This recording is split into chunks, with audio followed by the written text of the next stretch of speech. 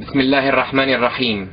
لا أحيي الشعب السوري البطل فقط إنما أبارك له شهادة أبنائه العظام الذين سقوا بدمائهم تراب الوطن وبذلوا الغالي والنفيس في سبيله وهم شعلة ومنارة للأجيال القادمة. أنا المساعد المجند عمار الشيخ عمر من كتيبة الأمن المركزي بحرستا أحمل الجنسية العربية السورية وأحمل الجنسية الألمانية. مجاز حقوقيا من جامعة حلب سحبت لخدمة العلم في الجيش العربي السوري ومن ثم وبعد قيام الجيش والأمن والشبيحة بأعمال الشنيعة قررت الانشقاق والانضمام إلى صفوف الجيش السوري الحر فاسمحوا لي يا شرفاء العالم بأن أسرد لكم ما حصل في بلادنا باللغة الألمانية Sehr geehrte Damen und Herren, liebe Zuschauer und Zuhörer überall auf der Welt und besonders in Deutschland. Dies ist ein Wort an alle freien Menschen, die an Frieden, Demokratie und Gleichberechtigung glauben. Mein Name ist Amashaik Omar. Ich habe die deutsche sowie auch die syrische Staatsangehörigkeit. Ich bin am 7. Dezember 1982 in der Stadt Reda-Wiedenbrück in Kreis Gütersloh geboren in Nordrhein-Westfalen. Habe in Deutschland meine Kinder- und auch Jugendzeit verbracht, wie alle anderen Deutschen auch. Ich bin in Deutschland auf die Schule gegangen und habe später an der Universität Münster Deutsche Philologie studiert. Bis zu meinem 22. Lebensjahr. Habe dann mein Studium abgebrochen und bin dann nach Syrien, mein Elternsland, zurückgekehrt. Auch hier in Syrien habe ich mich an der Universität in Aleppo eingeschrieben und Rechtswissenschaft studiert. Meine Studienzeit dauerte vier Jahre, bis ich mein Studium beendete. In Aleppo fand ich auch meine erste große Liebe. Sie studierte Medizin an der Universität in Aleppo. Es hat nicht lange gedauert, bis wir geheiratet haben. In unserer Ehezeit brachten wir einen Engel auf die Welt, ein strahlendes Mädchen mit, ihrem, mit dem Namen Lina. In dieser Zeit entschloss ich mich zur Armee zu gehen. Es war damals eine schwere Entscheidung, aber da ich die syrische Staatsangehörigkeit trage, war es ein Muss für mich, dem Militärdienst nachzugehen. Zu jener Zeit wollte ich nach Deutschland reisen, aber es fiel mir schwer, meine Ehefrau sowie meine Tochter alleine zu lassen. Da meine Ehefrau nicht die deutsche Staatsangehörigkeit trägt und ihr Studium noch nicht beendet hatte. Deshalb entschloss ich mich wie alle anderen Syrer zur Armee zu gehen. Der Militärdienst in Syrien ist eigentlich ganz in Ordnung.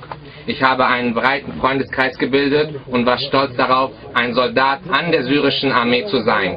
Ich habe dem Sicherheitsoperat teilgenommen.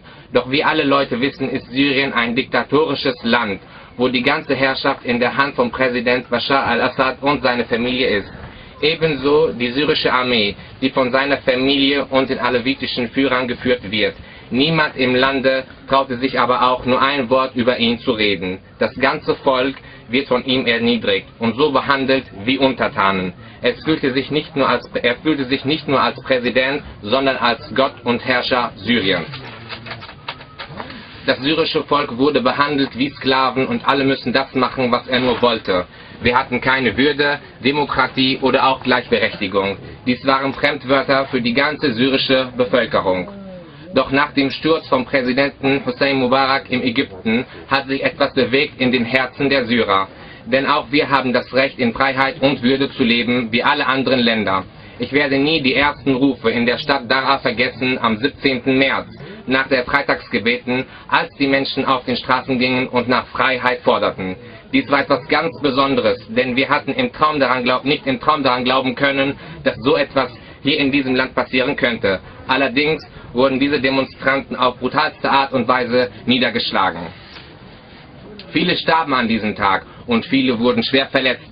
Andere wurden festgenommen, nur wenige konnten fliehen. Doch das große Ereignis war die kommenden Tage. Präsident Assad dachte, er habe den Demonstranten ein hartes Ende gegeben. Äh, doch genau das Gegenteil passierte. Immer mehr Menschen gingen gegen das Regime auf die Straße in Dara und vielen von ihnen wurden getötet. Doch der Ruf der Freiheit wurde immer stärker und breitete sich in den ganzen Städten Syrien aus. Wir alle kennen die Stadt Hama, die als Hochburg der Oppositionellen gilt. auch in Homs und Idlib und der so und Latakia. Sogar im Zentrum der Hauptstadt Damaskus forderten die Demonstranten für ein Ende des Baath-Regimes und den Sturz von Bashar al-Assad. Doch anstatt den Forderungen der Demonstranten nachzugehen, hat der Präsident die Sicherheitskräfte und ich war zu dieser Zeit ein Soldat am Sicherheitsapparat, hat er die Sicherheitskräfte und, und die Geheimpolizei sowie die Panzer in fast allen Städten Syriens verlegt.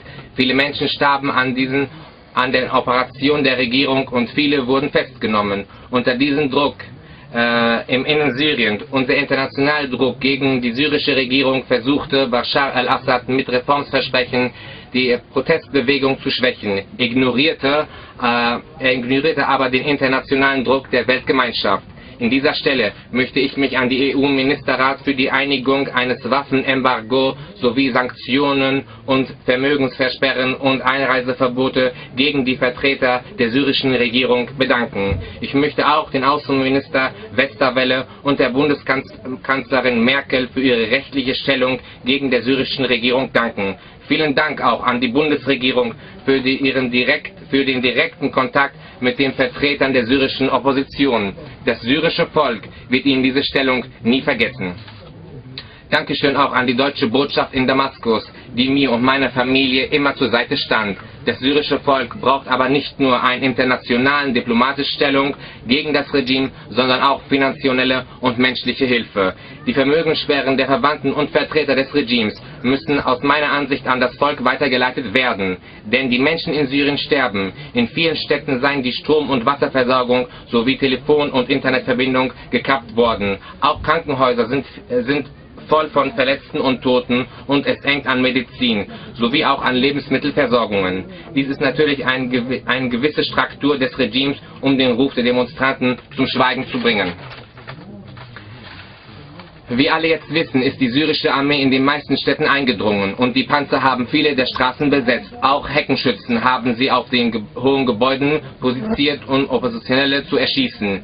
Äh, die, Syrischstädte, die Syrischstädte werden von Militärflugzeugen und auf, auf Erden sowie auch vom Meer bombardiert.